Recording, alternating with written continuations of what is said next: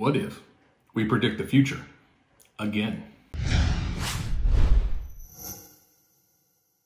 Welcome back, imaginary friends, to another predictions video. If you watched our last one, you will see that we try to predict the uh, premiere, premiere appearance, the future of Generation 9, at least just existing. And we were only a few weeks ahead of the actual official announcement for Pokemon Scarlet and Pokemon Violet. So I really chalked that up to being a lucky guess, even though we had a lot of data to prove it. It was just too close. I didn't like that window.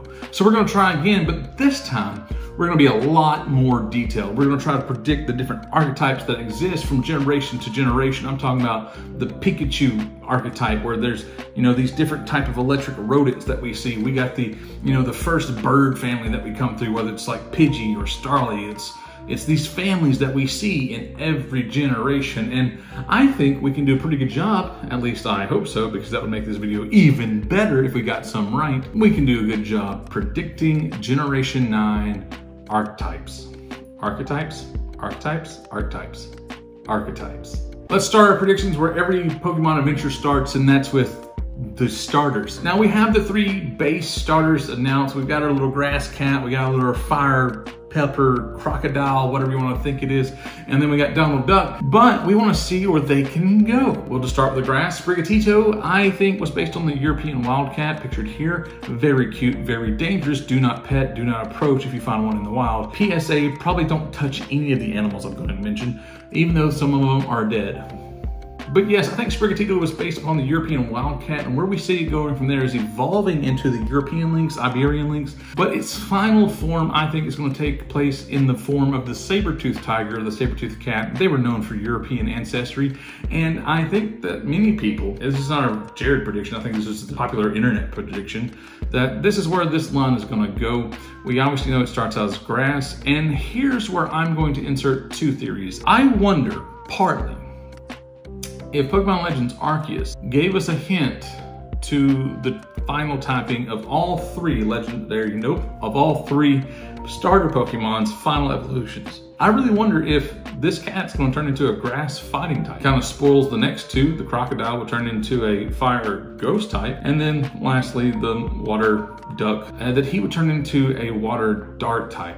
I think that's one theory that uh, I kind of like because we can kind of see where it's going and I'll explain more with the next two in a minute. Uh, but if that's the case, then we could see Sprigatito's final evolution being a grass fighting type but I want to say an alternate theory would be either, I mean, a grass fairy. I really don't want that to be the case. I feel like that's just an easy punch in the nose, albeit we've seen fairy type used before in the Alola region. So that was really just two generations ago, but how many generations have we had fire and fighting? So for Fuecoco, which is probably the funnest one to say out loud, I think it's gonna go the way of the, now excuse my pronunciation for this, I have it written down and I'm going to try my best. Diplocynodon, let me just say it like this, it's an extinct alligator. Uh, used to be in the region of Spain. I found this very interesting that when I was researching this, I actually found someone else, an actual paleontologist in Spain, who also had this idea. So I was like, this is crazy, and actually paleontologist had this idea, so I'm gonna go with it. Now, with that being said, while I wanna point out and say alligator and not crocodile,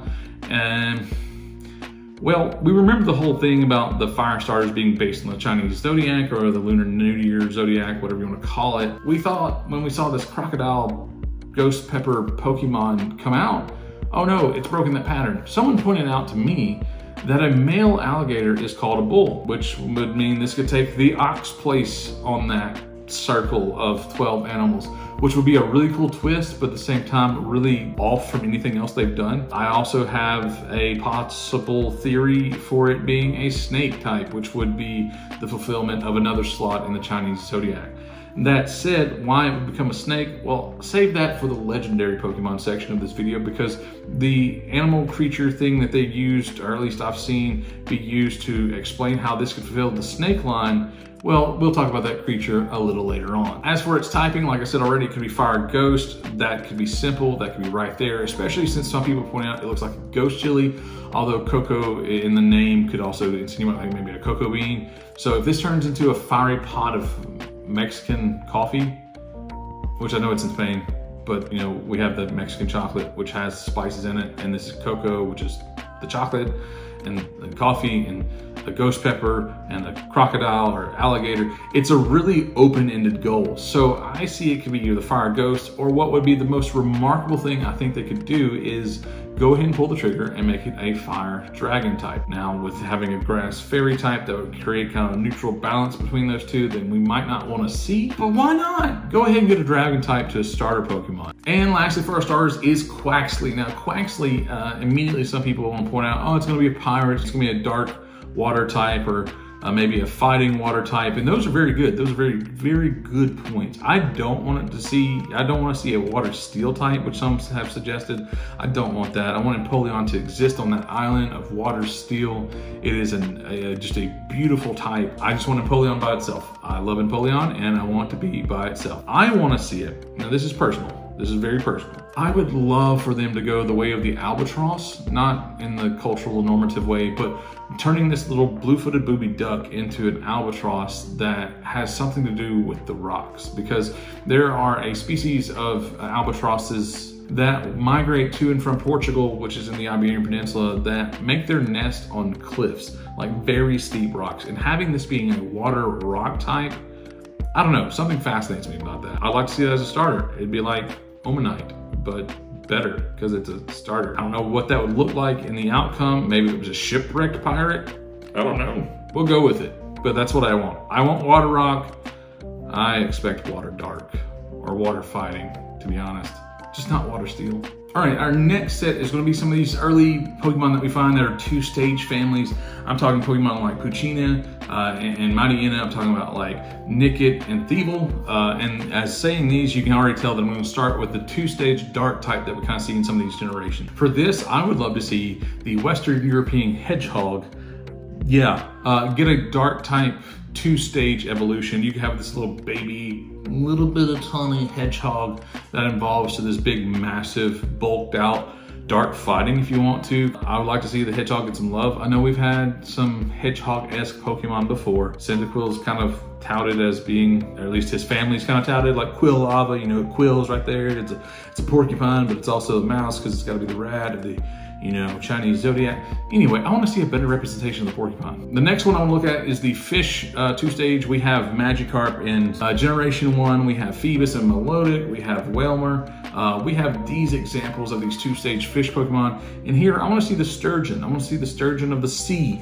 uh, the Mediterranean Sea. While I say this, get the sturgeon in there because I don't know how they would do this. But in researching a lot of this, apparently orcas live around Portugal and Spain. And I would be thrilled, thrilled for an orca Pokemon. Just a killer whale Pokemon, just out there captivating the seas and keeping them under lock and chain. I wouldn't want to see it be a water dark type because we have that with Sharpedo. If anything, make it a water fairy type because orcas are shark hunters and well, the water was a neutral damage thing, but then the fairy could help attack all the dark and there you go. Just make it, give Sharpedo a predator. But for this video, I'm gonna say the sturgeon because I have no better reason. And lastly, for the two stagers that I want to at least predict is the rodent or rat-based Pokemon that we see, whether it's Rattata before, we see Bidoof, uh, you know, all hell Bidoof, and then Skwovet in the last generation. And for this, I look to the European Mink, just the normal type two-stage uh, rodent Pokemon.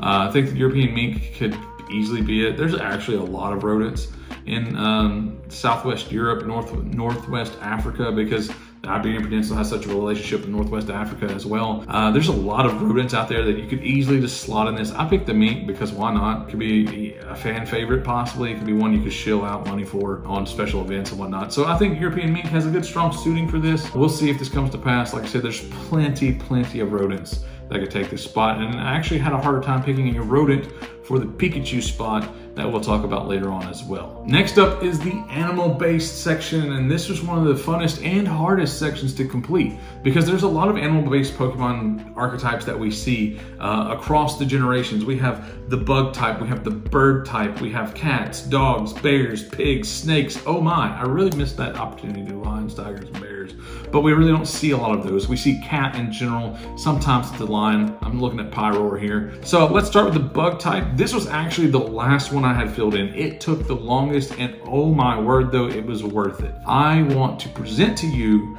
the, I'm gonna butcher this because I took Spanish with a very strict teacher and it was just survival and I didn't really learn it. So here we go. gonna pronounce some Spanish words in three, two, one. Caballucos del Diablo. Uh, what is that, you ask? It means like literally little horses of the devil. And you're saying, well, wait a minute, didn't you just say this is gonna be the bug type? I know I did. So what this is, the Caballucos, Caballucos del Diablo, it was the spirits of the dead who came back at a special time of the year in the form of these multiple colored horses, but they had damselfly wings or dragonfly wings. And the image here, it just it showcases like how big they could be, but I've also seen image work of them being really small. And I just thought this dragon horse fly thing that had some nefarious motive behind it could make for a great three stage bug Pokemon, especially a bug dark Pokemon. That's something we haven't seen yet, and there's several of these uh, dual types that we've not seen, and this is how I wanted to work in a final appearance of a bug dark type. I, I don't want to picture a horsey with just Butterfree wings, but I guess that's where I start in my head. And then it goes into like Mudsdale with Gigantamax Butterfree wings. I don't know. Next is going to be our bird set, our bird trio. Uh, we've seen these in a lot of different fashions. It really got really repetitive at first. You saw, you know, Pidgey and his family or its family. and you've seen Starly and its family. And it's just bird, bird, bird, bird, bird, bird. Talonflame was a nice break at least went Firebird. For this set, I wanted to look at the Iberian Magpie and the Golden Eagle. And unfortunately, I'm just gonna make it a normal flying type. Um, I can see this transition between the two being very beautiful. I wanna make the Golden Eagle something special too. Uh, I think it's a majestic animal. We've seen generations take transformations before with Pikipek's line. Uh, you know, it started as a woodpecker and it turned into a toucan. So why not take this beautiful magpie and turn it into this even more beautiful golden eagle?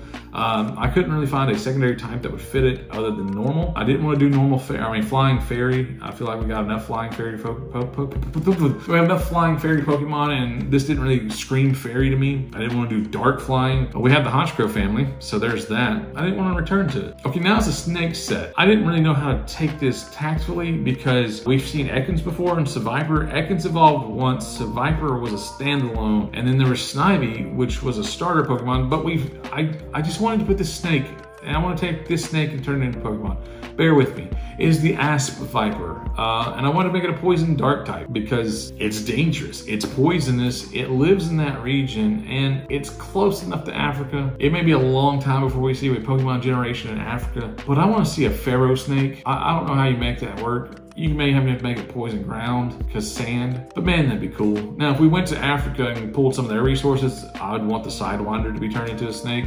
I think it's a very underrated snake in the world of snake ranking. Well, that's a whole different video, and I'm not gonna rank snakes for a video. That would be horrifying to watch and playback. No one would watch that video. Do an Ekans Arbok regional variant where Arbok is a pharaoh. Bada bing. There we go. That's better than anything I have written down on this paper, I promise you. Okay, next is the cat set. Now we're talking Meowth, we're talking Skitty, we're talking Glameow, we're talking about these classic Pokemon because we have two-stage cat Pokemon that we see in every generation. Meowth is like half of them and I don't want to give Meowth another chance to have a regional variant. He's done. They're done. They're on the shelf. For this cat Pokemon though, I'm going with common Genet, not your average cat. I want to see this get the light of day because uh, one, it's just it's just spunky looking. I like the spunk this guy has. It's mainly two colors, but there's a lot of variation, and I think you could create almost a Spinda type of variant for this. You could have like a bunch of different just patterns that you could have. You have a stripe pattern, you could have a spotted pattern. But yes, this would just be your normal two-stage cat Pokemon, and nothing much more special than that. Now this is the dog set. Now I'm talking Growlithe Arcanine, I'm talking about Houndour and Houndoom. For this, it, it, it's this is the easiest, the easiest shout to make. It's the Iberian Wolf. This has to be a Pokemon. The Iberian Wolf has to be a Pokemon. And for its typing though, morbid, but ghost type. Why is it a ghost type? Because they're highly endangered. Not the most positive way of getting here, but we've seen a lot of dark things in Pokemon before. Just make this a pure ghost type two stage wolf based Pokemon. I want this Pokemon as my starter. Forget the cat, forget the alligator, forget the duck.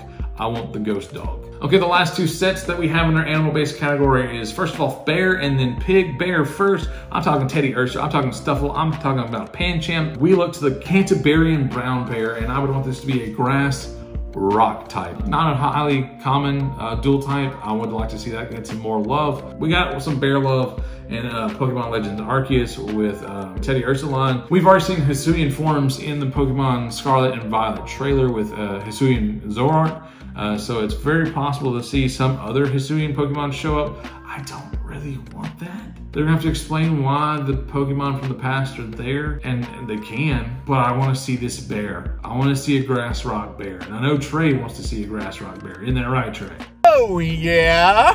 That, that one's even lower than the dogs on my list. But the last is the pick set, and I feel like this one's gonna be very easy. I'm looking at Spoink, Swinub, and Tepig. I know Tepig's a starter, but we've already used Snivy as a starter to justify our snake Pokemon. This is my list, make your own. Spoink, Swinub, Tepig. I wanna see this Iberian Black Pig, I think is what it's called. Um, this Iberian Pig, and I want it to be pure flying type, not normal flying, we've got the birds. I want this to be a pure flying type. One, because when pigs fly, right?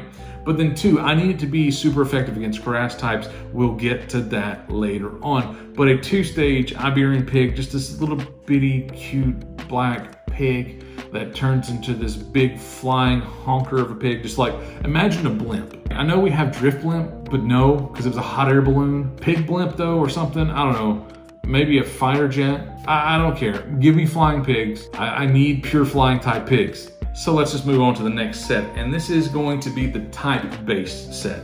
We've talked about animal-based. We've talked about, you know, there are common two-stagers. Well, these are gonna be the, the several reoccurring type trios or duets that we see amongst every generation. We're gonna start uh, with the fighting set. Uh, now, this is probably the easiest one to try to say, let's see this, because it's based on the Iberian Peninsula, it's based on Spain. Bullfighters. I mean, we could have the easiest trio of bullfighters. It may be a little tacky if they actually pull this off. I don't know. I'm looking at Throh and Sawk from uh, previous generations. You could maybe just do a duet instead of a trio. You don't have to go full Machop, Machoke, Machamp. I think that may be a very sensitive subject because I know there's some sections of our society that shun the sport of bullfighting. Some are very pro, some are very anti. We're not here to pick a side. We're just here to say Pokemon could do a bullfighting trio or bullfighting duet for their fighting type archetype Pokemon family in Generation 9. For our Psychic family that we will see in Generation 9 in whatever this region will be called, uh, I want to look at this old tale, the Rooster or Barcelos. Uh, at least I hope that's how it's pronounced. Please forgive me, I don't know Spanish. The Rooster of Barcelos is a old folk tale of a man being justified of his innocence because a rooster, he said, would crow when he was hung. He said, if I'm innocent, which he was being accused of stealing, and he was gonna be hung, he said, when I'm hung, if this, if this rooster crows, I'm innocent. And sure enough, when he was hung, the rooster crowed, he was innocent. And so we can see a psychic rooster uh, just just think think about that. There would be a lot of fun to have with this psychic rooster. Just say psychic rooster one more time in your mind. Psychic rooster. Yes, that sounds amazing. You could even make it psychic fairy because it's a positive thing. You can make it psychic flying, even though I don't want to go Xatu on us. A rooster that can read your mind, tell you if you're innocent or not. Uh, that's so much less scary than Alakazam. That's so much less scary than Hypno. There's there's so many terrifying psychic Pokemon. Next is the grass set. Now, I'm talking Oddish, I'm talking Bellsprout, I'm talking Hoppip, Lotad, Seedot, more on Seedot later. Looking at this, looking at the region, I wanted to do something a little bit more colorful because I went with the red carnation and the pomegranate flower. Now, the pomegranate flower, if I'm not mistaken, is like the national flower of Spain. Nonetheless, these are two very prominent flowers in the Spanish region, the Spanish culture. And to see a red carnation Pokemon that can blossom and bloom and become this pomegranate flower. You could do, uh, you know, it has fruit on it. Uh, I'm thinking Tropius, but with pomegranate, so bananas. I don't want to see another grass flying type a la Tropius. I think Tropius is just a magnificent standalone creature that should never be replicated, duplicated, or regional formed. This Pokemon would have all of these reds, all of this beautiful color, and we've already seen in the game trailer, there's a lot of color integrated into this game. I mean, even the names are Scarlet and Violet. Maybe you could have two different ones. I think this would be a really cool way to integrate something that's very popular and very well known in the Spanish culture and the Iberian culture into this game. Looking at the rock and ground type sets, I didn't want to really try to divide the two. So uh, looking at it, it's very easy for me to just go, well, let's look at Geodude, he's a rock type, or their rock type, Roggenrola, Rolycoly, all these rock type Pokemon. And the easiest one for me to pick was the Ibex. I feel like this is another one that's very high up on the possibility chart of seeing an Ibex Pokemon, pure rock type. Golly, that would just be the easiest home run for Pokemon to make. In this case, it's almost too simple to pass up. It's too easy to pass up because Ibex are huge. They live in that area. They're, they're majestic. I mean, just look at this thing. That's awesome.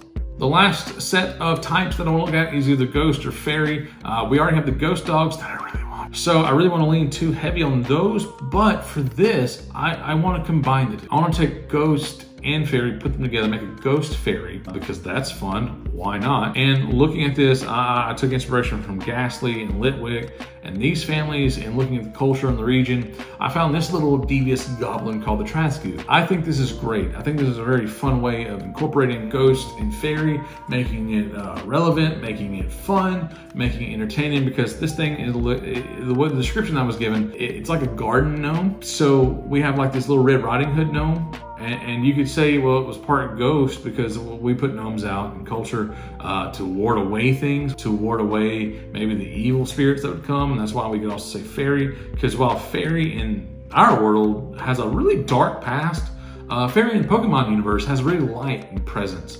And so we have this ghost fairy. It could be like this little ghost that haunts a goblin or a gnome, a garden gnome with this little red hat or cape, and it helps protect the houses of the owners from evil. I think this is another easy home run for Pokemon to do. I don't know if they will do it. Uh, it may be too human-esque, but we've seen some very humanoid Pokemon before. Let's hope this is for the best. I want to see this Trasgu.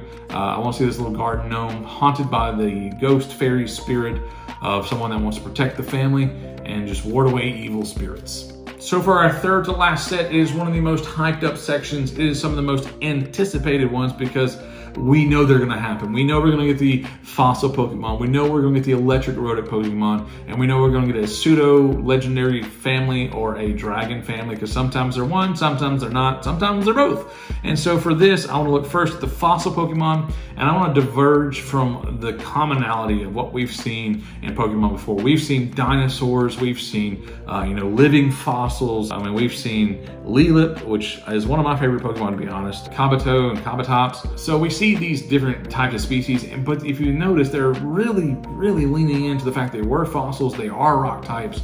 And so I wanna go in a slightly fuzzier direction. I say this because the two Pokemon that I found, or at least the two species that I want to see become the fossil Pokemon for this, is the, bear with me because I'm going to read languages that aren't my natural tongue, the Nuralagus, Neuralugus, aka the King Rabbit, is a big old chunky 25 pound rabbit. It's just a big old boy and it's extinct. So we can make it a fossil Pokemon.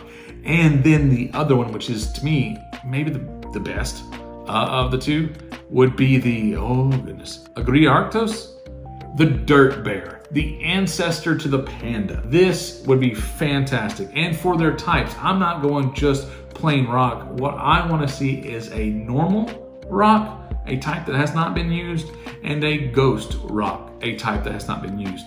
And we just take these two because normal and ghost would, you know, they don't affect each other. So they're rock and rock, normal and ghost. They, they, they, they're very equal and they're very fuzzy. I know I already have one bear, I just realized, in this series that is part rock. So Nah. Next is the electric rodent section of the storyline. Now we talking Pikachu, we talking Pichu, we talking Plusle and Minun. We're talking all the rest of them up to the present generation where we got more Morpeko in its two forms. That's so weird. Now, in doing this, this is why I said this was hard earlier. The first four, throw Pachirisu in this collection here, they were all just electric Pokemon. Electric, electric, electric. But then the last four generations, we've had electric something else. We look at these, we've got Emolga Electric Flying, we've got Dedenne uh, Electric Fairy, we've got Electric Steel and Tachidenmaru, I hope I said that right, moving forward, and we have Electric Dark in Morpeko. So, where do we go from here? Now, I want you to notice all of these other ones. So, You know, got Flying, Fairy, Steel, Dark. So this is like not using the base front of fire, water, and grass, but this is using, you know, these ladder and sometimes added typings. And so it was really confusing. Do I stick with the first four that were just pure electric, or do I stick with the second four, which were dual type with electric and something else? Do I divert from their common patterns? And yes, I chose to divert from the common patterns. So I'm going with just the electric, fire, red squirrel. Red squirrel is huge in Europe. They're everywhere, but this little bugger is red, so I want to make it a fire type. I don't think this type's been used before outside of Rotom's shifted form with the stove, uh, which I love Rotom. I do, but that's a form type, not, not a standard type. And so we get to this the pseudo legendary slash dragon type family and this was very hard because there's either dragon type myths that have already been used there's either dragon type pokemon that we've already seen or there's just not a lot of dragons and looking through the depths of the culture that i studied for this I found this, this beautiful, beautiful creature. It's called the Iberian Emerald Lizard. You even got some variants between the male and female that you could work out in, in, in how you evolve these. To see this Pokemon come to reality based off of this actual living, what looks like a Pokemon, the blue head, the green body, the dark feet, uh, I think this is gonna make a great water dragon pseudo legendary Pokemon family. We've not really seen water dragon outside of Palkia. We just got the origin form Palkia, which is putting more hype around this water dragon. But I feel like we can still use this type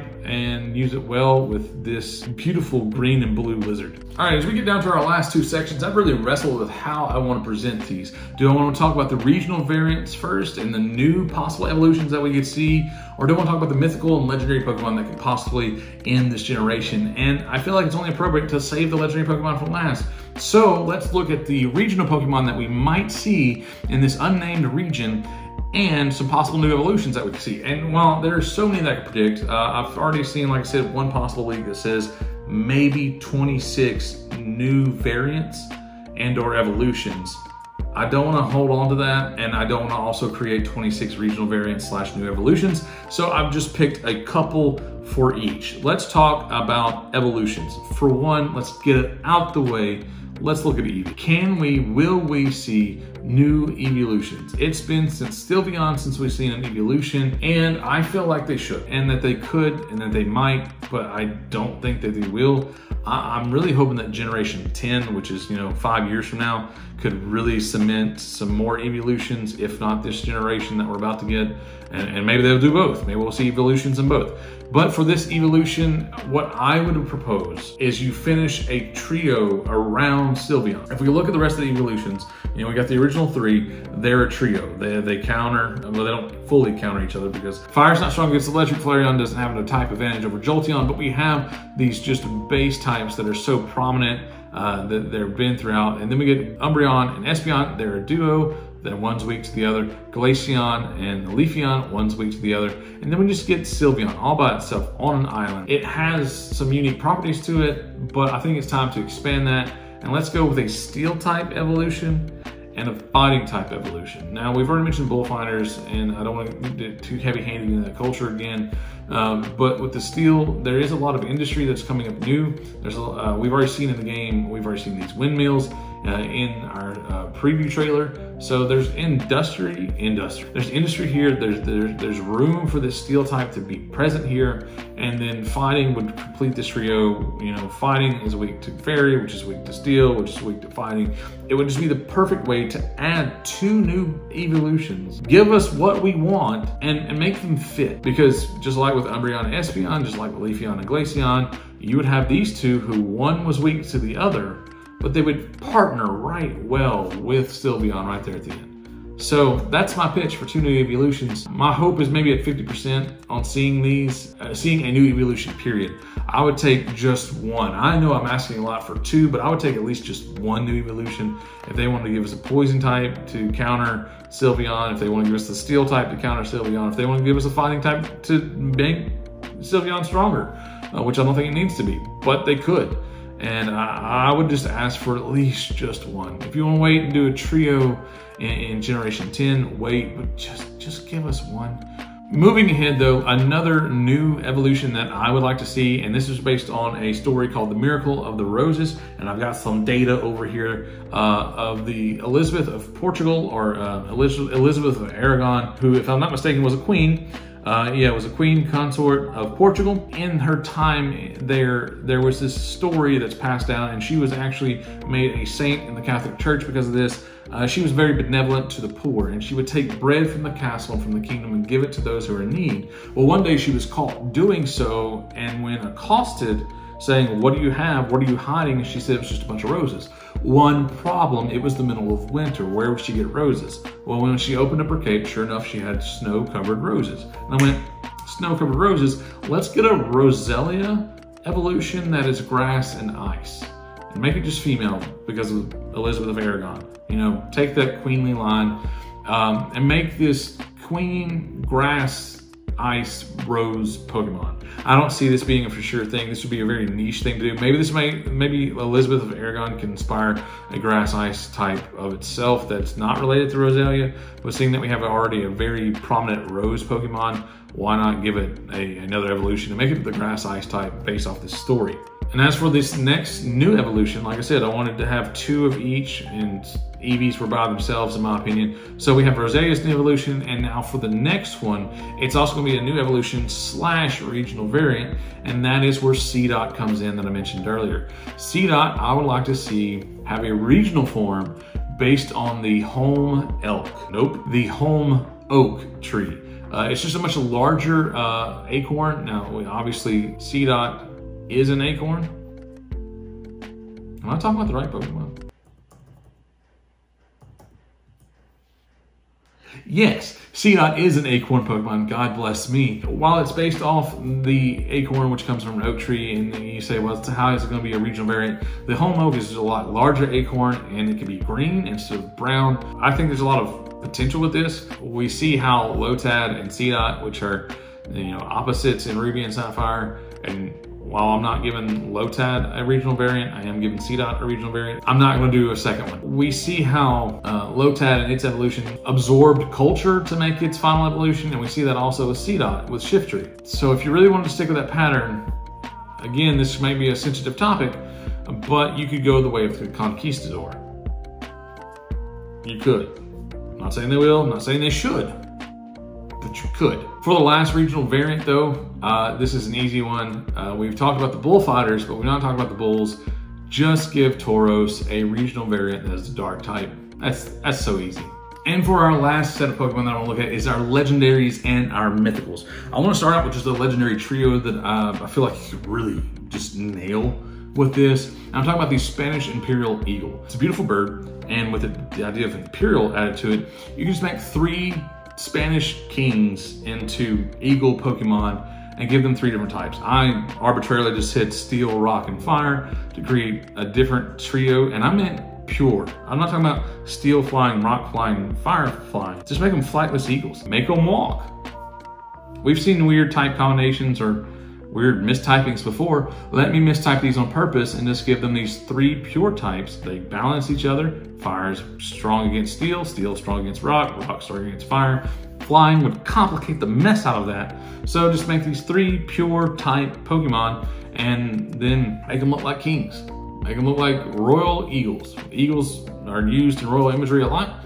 So here you go, three Spanish Imperial Eagle king-based Pokemon. Next would be a legendary duo that's not the box art duo, and okay, not the prevalent duo because we're gonna get to that next. No, this duo, I just found this was kind of like a Latios and Latias. It was like Manaphy and Phione. Uh, this was going to be based off, again, don't know if I'm pronouncing this correct, Sugaar, S-U-G-A-A-R. It's like sugar with an extra A, and Maro, or Mari uh, M-A-R-I. One is this uh, serpent or dragon that is the male counterpart of this duet uh, that is based on storms and thunder. So what I saw for this would be this like serpent-esque pure electric type that is a partner to a pure flying type Mari-based Pokemon, which was a woman who the serpent was intertwined with, and there was pure flying. And now you say, well, it has a natural strength against the flying type. I know, but because they are a partner, they could have like a Calyrex Shadow Rider or Calyrex Ice Rider situation,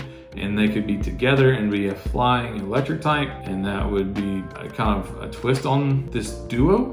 I don't know. I think there's some potential there. This Sugaar is also what I've seen be a possible outcome for Fuecoco. It could be a fire electric type, and it'd be based off of this legendary creature or mythical creature. I don't know where Mario would fit into that. Oh goodness, if you did branch evolutions for starter type Pokemon, madness would ensue.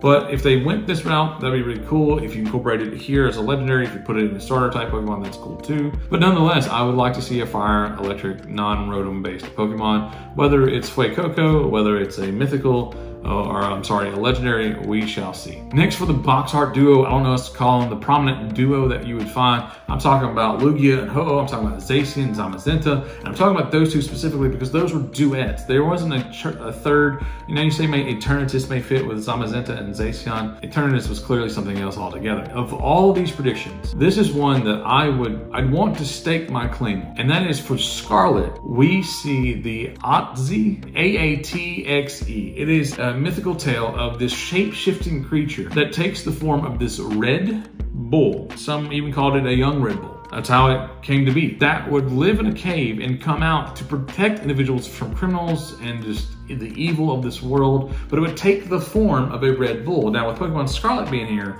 why not? And again, with the culture of bulls having such a prominent place in the culture, why not have this red bull mythological creature be the legendary Pokemon for Pokemon Scarlet? Now, with that though, because it does live in a cave, you would think ground rock, maybe something of that nature. And I would say no. And this is why because it would fight the criminal. It was a good creature in this mythology.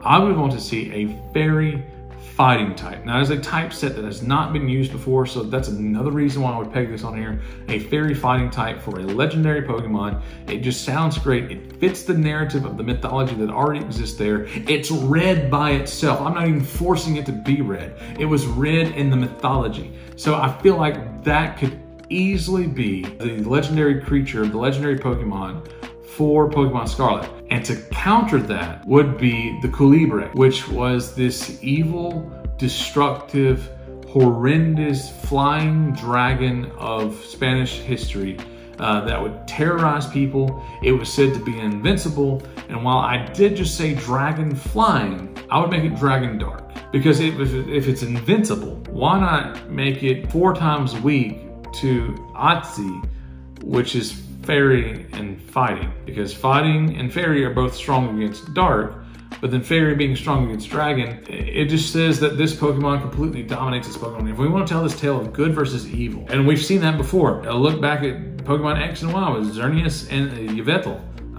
I'm not gonna pronounce it any other way. You had this light creature and this dark creature, this very dark. It was a stark contrast. It was a stark dynamic. And 1v1, Xerneas is gonna win every time. So why not do the same here? Have this dual type bull and this dual type dragon where the good just beats the bad. That's what Pokemon's narrative is the entire time. You always beat the bad Team Rocket or Team Rocket variant. You always win. Good always wins. And now I know we don't live in a world where that happens, but this is fantasy. So not why not have it where good always wins? Have this raging beast of a bull pummel this dragon, stomp it out. And to go with St. George versus the dragon, which is a popular tale from the culture as well, the dragon loses. I think that's an easy win. An easy just home run out of the park. And lastly, the mythical Pokemon of Generation 9. Um, there's there's a lot of things that could have been put here. I mean, we're looking at Celebi, we're looking at Jirachi, we're looking at these smaller uh, fairy-esque type creatures. And spoiler, this would be a fairy type Pokemon. I would make it though a ground fairy, a new type set that's not been used.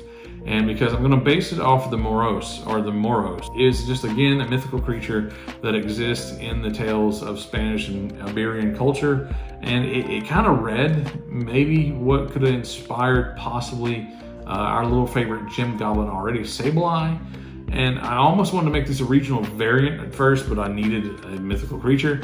So I said, why not make this Moros the mythical Pokemon, make it small, make it quaint, make it cute, and just make it a ground fairy. Create a new type, new mythical, a new Pokemon to just seal up this generation. Thank you for watching another one of our predictions videos. I have a lot of fun doing these. There's a lot of work that goes in on my end to get the research done. Nonetheless, we hope to hear your predictions too in the comments down below. Let us know if once the announcements are made, if we got them right, if we got them wrong, if we just look like complete fools, or if we absolutely nailed it, which I hope to do. I really hope we nailed at least one. That would be satisfying. And what else would be satisfying is until next time, you keeping the imagination alive.